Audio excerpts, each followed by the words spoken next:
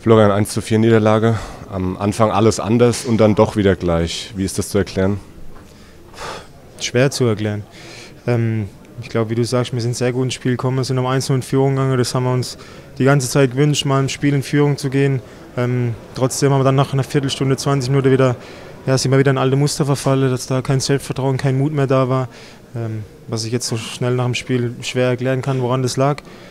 Ähm, ja, aber wir müssen uns das wieder langsam erarbeiten. Ich habe gedacht, die letzten zwei Spiele haben uns da ein bisschen Sicherheit gegeben.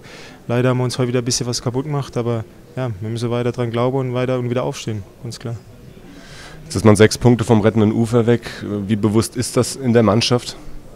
Ja, ich glaube, jeder kann die Tabelle lesen. Ähm, trotzdem, ja, es ist noch nicht vorbei. Wir sind noch nicht abgestiegen. Und wir werden bis zum Schluss daran glauben und alles dafür geben, weil äh, nächste Woche ist ein sehr wichtiges Spiel in Freiburg.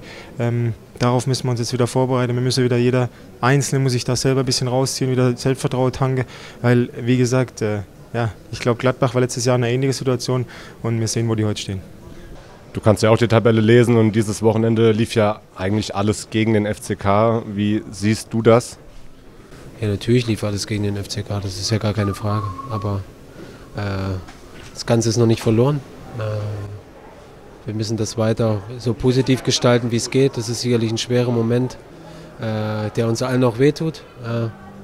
Für jeden ist das bitter, dann immer so nach Hause zu gehen mit solchen Niederlagen und sich solche Bretter abzuholen. Aber ähm, wir müssen weitermachen. Es muss weitergehen.